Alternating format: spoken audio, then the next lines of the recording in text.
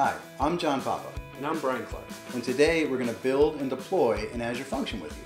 And they're really good for spinning up APIs quickly that we can leverage in our web apps. Absolutely. So let's go build one together. We'll go into the portal and click New, and then we'll look for Function Apps. Once we find that, we'll create a new one.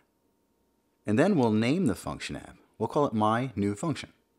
We'll keep all the defaults, but we'll also check Pin to Dashboard so we can easily find it once it's been created and deployed.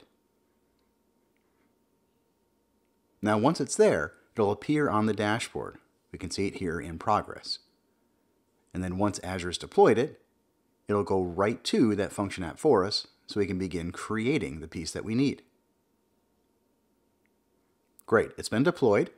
Now we can go into the function by clicking on functions over here and then click on new function inside there. So we have a function app that's going to have a function in it. We'll filter down by JavaScript because that's the language you want, and we'll select HTTP trigger.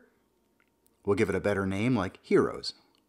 And we'll make the authorization level be anonymous. And then we'll change the contents of the function in here to just simply return a list of heroes. So we'll do a little copy paste and we'll put in there a response of Mr. Hero, Miss Super, Kid Power, and status. We'll save it and run it. And then we can see the results right here in the portal.